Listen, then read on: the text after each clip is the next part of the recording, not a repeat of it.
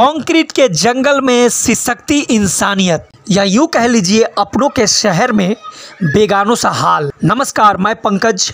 आप सबका स्वागत है द ग्लोबली न्यूज़ अपडेट्स और बीबीसी 24 फोर इंटू सेवन में। पश्चिम बंगाल के सिलीगुड़ी शहर के तीन नंबर वार्ड गुरुम बस्ती में एक सब्ज़ी विक्रेता, जिनका नाम है भिखारी सहनी, उनकी धर्म पत्नी सब्ज़ी बेचते बेचते सड़क पे ही स्वर्ग सिधार गई। आज उनके परिवार में कोई नहीं है जो उनका देख रेख कर सके।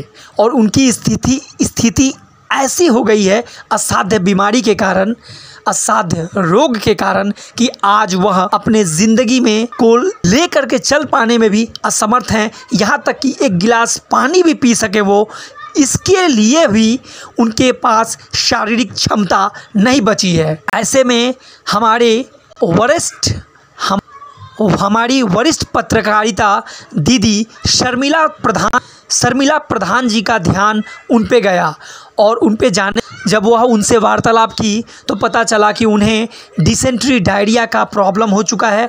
जो भी चीज़ वो खाते हैं, वो पचता नहीं है। तत्पश्चात वह आस पड़ोस के लोगों से आस पड़ोस के सब्ज़ी विक्रेताओं से वार्तालाप करके उन्हें बोली कि क्या आप लोग इंसानियत के नाते और आपके पड़ोसी होने के नाते क्या इनका मदद नहीं कर सकते थे? आप इनको हॉस्पिटल में दाखिला नहीं करवा सकते थे? तो उन लोगों का कहना था आस पड़ोस के सब्ज़ी विक्रेताओं का कहना यह था कि, दीदी, एक पल के लिए चलो, मैं आपकी बात को मान करके इन्हें भर्ती करा भी दिया। तो उसके बाद इन्हें कौन देखेगा? किसके पास इतना वक्त है कि इनके लिए हॉस्पिटल आना जाना करेगा? मतलब कि दी, कहने का तात्पर्य यह है आज समाज के तमाम लोग इस कंक्रीट के जंगल में तमाम उन ठेकेदारों से यह सवाल करती है, सवाल पूछती है। मतलब लोग मरे तो मरे, लेकिन कोई किसी को मदद करने के लिए आगे ना आए। इस तरह का स्वार्थ भरी नगरी में क्या फ़ायदा? बड़ी बड़ी बातों का। तत्पश्चात हमारी शर्मिला प्रधान वरिष्ठ पत्रकारिता बहन दीदी ने G H R peace foundation और W H O who cares N का ध्यान अपने तरफ़ आकर्षित करके इस स्थितियों पे उनका ध्यान दिलवाया। और जैसे ही उनका प्रकाश इस व्यक्ति विशेष पे भिखारी सहनी के ऊपर पड़ा तो ये एनजीओ जो है सराहनीय कार्य किया और सराहनीय कार्य करके इन्हें पहले साफ़ सफ़ाई करके, इनका दाढ़ी वगैरह बना करके इनको हॉस्पिटल में दाखिला कराया और भर्ती के पश्चात अब तक का सूरत हाल यह है, स्थिति यह है कि वह शारीरिक रूप से पहले से अच्छा महसूस कर रहे हैं और उनकी इलाज चल रही है। ये व्यक्ति का घर है, न ठिकाना, वही फुटपाथ, एक चौकी है उनका आशियाना समाज के तमाम उन लोगों को इस विषय पर सोचना चाहिए कि कैसे हम इंसानियत को बचाएँ, कैसे इस समाज में एक अलग पहचान और इंसानियत को बचा करके, लोगों का मदद करने का भी एक भावना को उत्पन्न करके समाज में ऐसा संदेश दे। तो जुड़े रहे हमारे साथ, ऐसे ही अपडेट्स लेकर के हम पुनः मिलेंगे आपके साथ।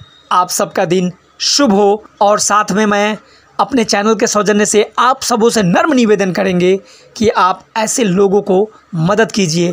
आइए, हाथ बढ़ाएँ आगे और ऐसे सिसकती जिंदगियों को कंक्रीट के जंगल में भी चेहरे पे एक मुस्कान दे सके। धन्यवाद। नाम क्या है? भिखारी साहनी। भिखारी सौ साहनी। सहानी। भिखारी सहानी। नाम आपका कोई नहीं है? अभी आप वो थोड़ा क्या करते थे आगे? अच्छा अच्छा। आपको? आगे जनवरी में बूढ़ी हैं। अच्छा। अच्छा। तो, तो आपका बीमार क्या है? बीमार क्या है? बीमार तो ये जो खान नहीं पचता है। पतला पैखाना होते हैं। कुछ भी नहीं पसता है? कुछ है पानी के तरह खाते। खाते ही ऐसा होता है जो खाते डाइजेस्ट नहीं होता है? अच्छा अच्छा। वही भूख भूख भी नहीं लगती। भूख भी नहीं लगता है? अच्छा ठीक है। तो आपको हम थोड़ा साफ़ सुफ करके हॉस्पिटल ले जाएँगे हाँ। थोड़ा रुकिए बुलाए हैं सभी को हाँ। तो हॉस्पिटल जाना पड़ेगा। ऐसा यहाँ बैठने से अच्छा नहीं होगा। हाँ। ठीक है वो पी पी लीजिए थोड़ा ओ आर एस पी लीजिए। हाँ वो पी लीजिए। अभी मैंने ओ आर एस ला के दे दिया। कैसा लग रहा है वो। हाँ थोड़ा आपका शरीर में ना थोड़ा अच्छा होगा बॉडी में अच्छा होगा। हाँ। हॉस्पिटल ले जाएँगे। आपका सलाइन उलिन देना पड़ेगा। ऐसा ही यहाँ बैठने से ठीक नहीं होगा ना? हाँ? ले चलिए मैम हाँ? हमें हॉस्पिटल पहुँचता ओ। ना जाता अच्छा अच्छा। ठीक है ठीक है। नमस्कार। म जिएचआरपिएस फाउन्डेसन एनजिओबाट आज यो खबर सुनेर आएको यो खबर हामीलाई हाम्रो बहिनी जिएचआरपिएस फाउन्डेसनकै हाम्रो मिडिया पार्टनर मिडिया पार्टनर हाम्रो बहिनीले खबर दिएर चाहिँ उहाँ पनि हाम्रो एनजिओको एक सशक्त मेम्बर हुनुहुन्छ। उहाँले आज बोलाएर हामी यहाँ आयौँ। उहाँ बजार गर्नु आउँदाखेरि यहाँ हाम्रो वृद्ध एकजना बाजे हुनुहुन्छ।